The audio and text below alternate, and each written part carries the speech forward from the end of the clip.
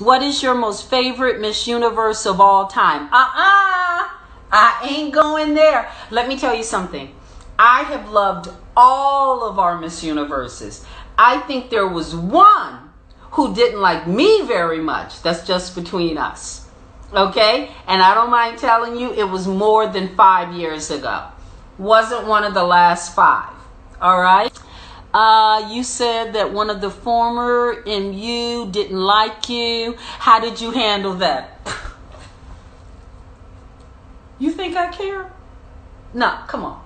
Let's really talk. You think I care if somebody doesn't like me? Listen to me. Jesus loves me. Everybody else can get in line. I do not care. I really don't care.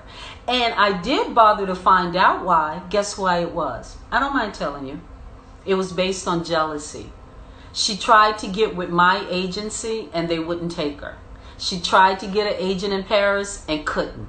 She wanted to be funny. Oh my God, that was her dream to make people laugh, and it just didn't work. And you know your girl is funny, okay?